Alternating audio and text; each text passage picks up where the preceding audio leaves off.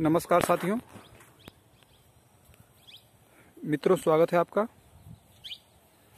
मित्रों, ये Hero Electric Hero Electric Optima H X dual battery की इलेक्ट्रिक बाइक है, हीरो कंपनी की। और मित्रों, ये आपको मैं क्या बताऊँ? मुझे तीन महीने हो गए इसे इस्तेमाल किए। यानी तीन प्लस हो गया, तीन महीना हुआ इसको लिए। और मैं तीन महीने इसको इस्तेमाल कर रहा हूँ। मित्रों, आप देख सकते हैं। मैं इसको की को ऑन कर रहा हूँ। ये ब्लिंक कर रहा है कैमरे में बट ब्लिंक नहीं करता है रियल में। छः हज़ार सात सौ बयालीस किलोमीटर। ये चल चुका है अब तक। और इसी दौरान इसमें इतनी समस्याएँ हैं, इतनी समस्याएँ हैं, मैं आपको क्या कहूँ। यानी जो इस सबसे बड़ी समस्या इसकी जो फाइबर है, वो एकदम थर्ड क्वालिटी की है। मतलब मित्रों, इसकी जो पीवीसी लगी हुई, यानी ये वाला हिस्सा, ये वाला हिस्सा, ये वाला हिस्सा, एकदम थर्ड क्वालिटी का पीवीसी यानी जरा भी झटका लगा, तुरंत टूट जाता है। मैं आपको क्या बताऊँ, साथियों, पेट्रोल से आया तो मैं इसका जो है पीवीसी वेल्डिंग का पैसा दे चुका हूँ।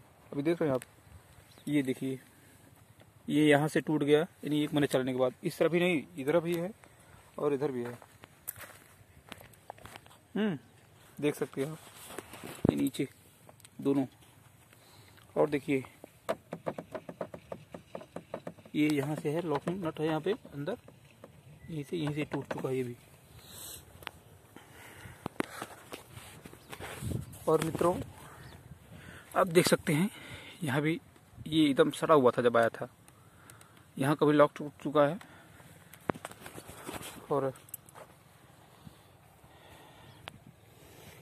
इसमें इसके अंदर जब आप खड़ंजे वगैरह पे या सिंगल रोड पे सिंगल लेन रोड पे आप चल, चलते हैं क्योंकि ये शहर गाँव है शहर नहीं है शहर जैसे एकदम एक समान रोड तो होता नहीं है कुछ न गड्ढे कुछ न कुछ गड्ढे ज़रूर होते हैं रास्ते रोड पर। और इसके नाते इसमें इतनी ज़्यादा समस्या है सबसे बड़ी समस्या इसकी फाइबर की है एकदम थर्ड क्वालिटी का फाइबर ध्यान रहे मित्रों मैं इस इस कंपनी का कोई वो नहीं है मेरा कोई कि मैं इस कंपनी को हानि पहुँचाने के लिए ऐसा कुछ मेरा उद्देश्य नहीं है। बस मैं आपको हकीकत से रूबरू करा रहा हूँ। बस, इतना ही मेरा मकसद है। आप विश्वास कीजिए, बहुत ही थर्ड क्वालिटी का फाइबर है इसमें।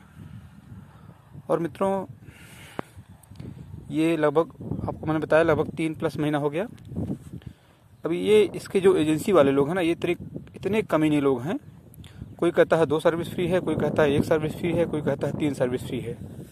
अभी मैंने जहाँ से इसको लिया, उसने बताया कि भाई दो सर्विस फ्री है, एक नंबर दो नंबर और मेरा एक मित्र है, वो भी कहीं और से लिया तो उसने भी बताया कि भैया दो नहीं, तीन फ्री है। अब बताइए, अब क्या करेंगे आप? और सुनिए, आपको एक रुपये नहीं लगा सर्विस सेंटर वाले सिर्फ़ दस रुपये का ग्रीस लगाते हैं और आपसे दो सौ रुपये चार्ज करते हैं। सबसे बड़ी समस्या ये है इसकी। यानी एक रुपये का भी इन्वेस्टमेंट नहीं है, यानी दो रुपये का, तीन रुपये का ग्रीस लगाते इससे ज़्यादा कुछ नहीं, और आधे घंटे की सर्विस है, यानी अगला पहिया, पिछला पहिया खोलते हैं, उसको ग्रीसिंग करते हैं, और जो आपका ब्रेक शू है, उसको रगड़ते हैं रेगमार से, बस, उसके बाद बाँध देते हैं। इतना ही करते हैं, इसे तो कुछ करना भी नहीं है इसमें। लेकिन मैं आपसे क्या कहूँ, ये इतनी बड़ी समस्या है मित्रों ना। आप सोच लीजिए, जो अट्ठासी हज़ार सतासी हज़ार लगाएगा बेचारा, क्या सोच लगाता है कि यार ले लेंगे, एक पैसा नहीं देना है, एक रुपया नहीं देना है सर्विस का ना पेट्रोल का। लेकिन इसके जो डीलरशिप वाले हैं, यानी जो जो इसकी एजेंसी लिए हुए हैं, एकदम से आप अगर ले लिए, भाई साहब, अगर आप यकीन मानिए, आप अगर ग्रामीण क्षेत्र के हैं, और आप इसको ले लिए और थोड़ा सा भी आप लोडिंग वाला काम करने लगे इसके साथ तो आप विश्वास कीजिए, पेट्रोल से ज़्यादा पैसे खर्च हो जाएँगे आपके, क्योंकि इसमें इतनी ज़्यादा सर्विस है। ध्यान रहे मित्रों, मेरा कंपनी से कोई लेना देना नहीं है। मैं आपको हकीकत से रूबरू करा रहा हूँ, ताकि आप सोच समझ कर लें, क्योंकि आप ग्रामीण क्षेत्र के हैं, आप किसान हैं तो अस्सी हज़ार, नब्बे हज़ार रुपये थोड़े नहीं होते, बहुत होते हैं। खून पसीना, यानी सर का पसीना पैर पे चला जाता है, पैसे कमाने के लिए, किसानों के लिए, बाकी औरों की बात छोड़िए। तो आप पैसे को सही तरीके से सोच समझ कर इस्तेमाल करें। विश्वास कीजिए इसमें समस्या मैंने आपको पहले दिखा दिया है। अभी देख सकते हैं आप यहाँ पे जो है, ये पत्ती लगा हुआ है। दोनों को साथ में कनेक्ट किए हुए हैं। उस तरफ़ वही है। यहाँ ये मडगार्ड भी टूट चुका है। अभी मैं दिखा रहा हूँ आपको, ध्यान से देखेंगे आपको। हल्का हल्का दिख रहा है। देख सकते हैं मित्रों। देख सकते हैं आप। ये अंदर से भी, बाहर से भी प्लास्टिक बिल्डिंग होती है, मैंने करवाया है। तो पैसे आपके हैं, लगाना आपको है। समझ बूझ के लगाइएगा, मैं तो यही कहूँगा। हाँ आपसे एक निवेदन और है। यदि आप शहरी क्षेत्र से रहने वाले हैं तो आप ज़रूर ले सकते हैं। यानी आपके यहाँ रोड एकदम चकाचक होना चाहिए। आप देख सकते हैं मैं कहाँ से हूँ। आप देख सकते हैं सामने रोड गया हुआ है, इधर भी है, इधर भी है, यानी सीधे भी गया हुआ है। यानी मिट्टी का रोड है, पिच भी है, लेकिन समस्या वही है कि खटपट खटपट कहीं भी प्लेन रास्ता नहीं है। तो बस इतनी सी बात है। बाकी तो कोई विशेष समस्या नहीं है। हाँ इसको अगर आप फुल स्पीड में चलाते हैं तो एक समस्या तो आप फुल स्पीड में चलाएँगे तो इसका बैटरी जो है डाउन हो जाता है। वापस आप नॉर्मल रेंज यानी 25 किलोमीटर 30 किलोमीटर और सिंगल वेट पे चलाते हैं तो लगभग बैटरी वापस चढ़ जाता है ऊपर। नहीं तो ये काफ़ी, अगर आप बहुत तेज़ से चला रहे हैं, दस किलोमीटर कंटिन्यू चला दिए तो ये खूटी देख रहा पूरा एकदम एक नंबर पर दो नंबर पर आ जाएगा। आपको लगेगा यार, बैटरी क्या हो गया? बैटरी तो डिस्चार्ज होने वाली है। लेकिन ऐसा नहीं है। वो आप जैसे आप स्पीड नॉर्मल करेंगे, वापस वो बैटरी ऊपर चली जाएगी। तो इसका ध्यान रखें। बाकी मित्रों, पैसा आपका है, लेना आपको है। तो समझदारी भी आप ही को दिखानी है। मेरा काम बस आपको बताना है।